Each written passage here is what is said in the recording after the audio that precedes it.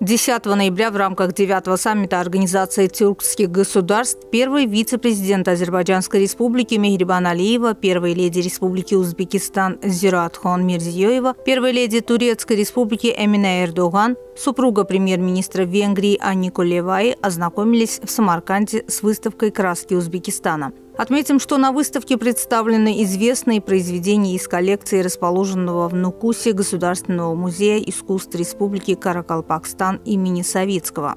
Демонстрируемые здесь работы охватывают все направления изобразительного искусства Узбекистана XX века. На выставке демонстрируется более 90 произведений 14 художников –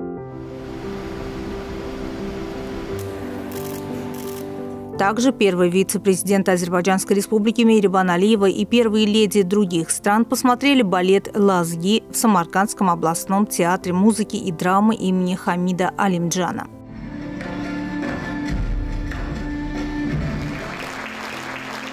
Отметим, что в 2019 году Межправительственный комитет ЮНЕСКО включил хорезмский танец «Лазги» в репрезентативный список нематериального культурного наследия человечества. Балетная постановка, посвященная этому танцу, способствует распространению танцевальных традиций Узбекистана в международной культурной среде.